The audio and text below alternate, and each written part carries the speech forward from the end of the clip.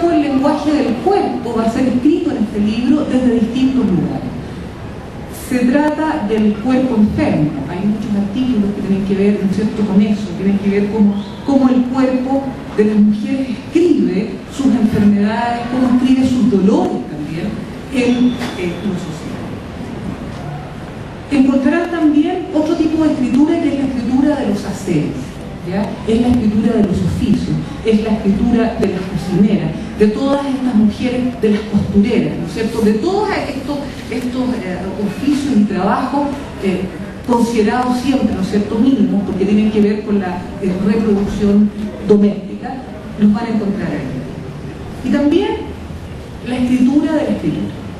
Hay muchos artículos que precisamente lo que quieren es desentrañar y es mostrar esa compleja, complejo gesto femenino de escribir en chino. Y por eso digo, estoy hablando de una escritura situada, escribir en chino.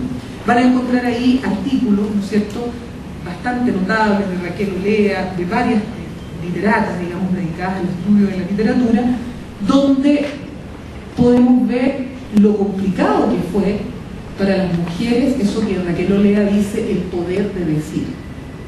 Lo complicado que fue, porque no fue fácil para Mistral, porque no fue fácil para Marta Lunet, porque no fue fácil para ninguna de estas mujeres. Y tampoco sigue siendo muy fácil, ¿ya? hasta ahora. Entonces, esa, esa parte, digamos, de esos ensayos que escriben sobre la escritura, creo que son muy interesantes porque justamente yo creo que el núcleo duro de la cultura precisamente se juega en la escritura, se juega en la interpretación del mundo y es ahí precisamente donde las mujeres somos más censuradas y somos más invisibilizadas. Ese, ese lugar ya este libro lo demuestra muy bien, ¿no? muestra muy claramente. Eh, también van a encontrar ahí eh, qué pasaba con la escritura de las primeras feministas, qué ocurrió digamos, en, ese, en ese momento con las primeras feministas y qué es lo que sigue pasando ahora con las nuevas formas. Después hay otra escritura en este texto, que es la escritura de lo sensible. La escritura de lo sensible tiene que ver precisamente con las formas de hablar y de decir sobre el arte de las mujeres. Sobre, por ejemplo, bueno, Adriana, precisamente su, trabajo, ¿no es cierto?, es desentrañar, es mostrar qué es lo que pasó con el arte femenino, ¿no cierto?, desde fines del siglo XIX, comienzos del XX, hasta ahora, ¿no? en, un, panorama. Ahí también hay tensiones, ahí también hay, hay complejidades. Y en este mundo de lo sensible está el mundo de las artes, y fíjense, yo ahí quisiera, quisiera decirles algo que, que a mí parece notable este texto, porque cuando nosotros le pedimos, nosotros le pedimos a, algunas autoras, oye, eh, necesitamos un ensayo, queremos un artículo sobre qué pasaba con las mujeres en la música. A la misma Adriana, cuando le digo a Adriana, necesitamos un artículo sobre las mujeres en el arte, y nos empezamos a dar cuenta que hay poquísimo. Eh, y que no es fácil, y que tal vez lo que hay sí son, son ¿no cierto?, algunas recopilaciones de textos, de nombres de mujeres, pero una mirada, una interpretación de qué es lo que pasó, muy poco. Entonces, en ese sentido, sí acá, en este libro, hay trabajos inéditos inéditos realmente respecto cierto? a lo que es esta escritura que digo yo de lo sensible. Y por último quisiera rescatar otro elemento que tiene que ver con lo que yo llamo la escritura de la otra. Esta escritura de la otra está representada por las mujeres indígenas, jóvenes intelectuales indígenas, que escriben este libro sobre ¿ya? los problemas o sobre su propia condición, ¿cierto? de mujeres jóvenes, además son mujeres jóvenes indígenas, en, este mundo donde también ¿no es cierto? están todas las tensiones de pertenecer a una tradición, pero una tradición que también es complicada para las mujeres a veces.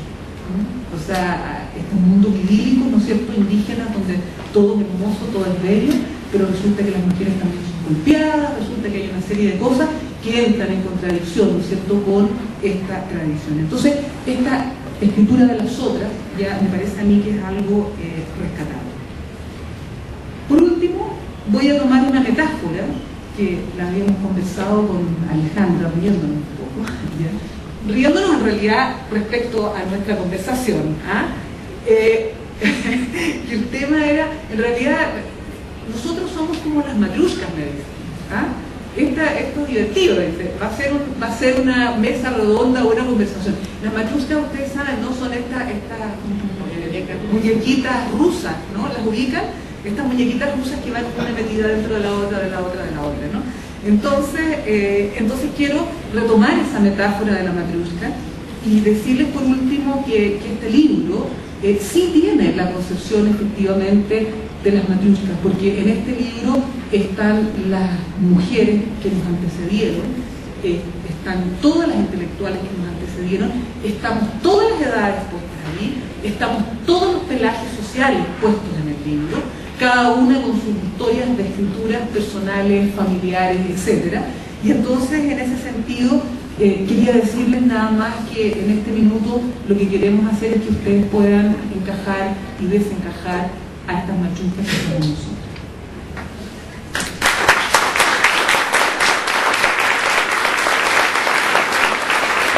con Alejandra y Sonia, por cierto, no es la primera vez que nos encontramos, esta es una especie de conversación que, funciona eh, hace tiempo.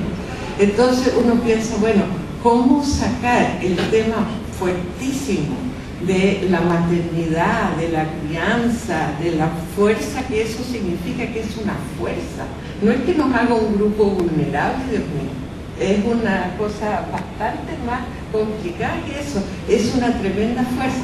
¿Cómo sacarlo eso del discurso edificante, del discurso kitsch, del discurso que sabe de una vez para siempre qué son las mujeres y cuál es su papel en este mundo? Porque, como tú bien recordabas, hace muy poco tiempo que tenemos derechos ciudadanos, hace muy poco tiempo que sabemos leer y escribir, hace muy poco tiempo de todo eso y lo que a mí me parece es que lo que está surgiendo acá es, y está surgiendo con todos los problemas de péndulo, de que de repente nos ponemos demasiado estridentes durante generaciones, o que de repente estamos tomando temas que están tratados en otras latitudes y los empezamos a tratar aquí como si recién los viniéramos descubriendo, etcétera, con todos los defectos que ustedes quieran encontrar pero está surgiendo una especie de sujeto social nuevo que es completamente raro. En la historia de la humanidad es completamente raro. La mujer ciudadana y la mujer capaz de ejercer la escritura, por ejemplo, o la mujer capaz de expresarse socialmente de todas las maneras en que las leyes nos dan la posibilidad. Y lo que es más interesante del trabajo sobre cultura mujer y con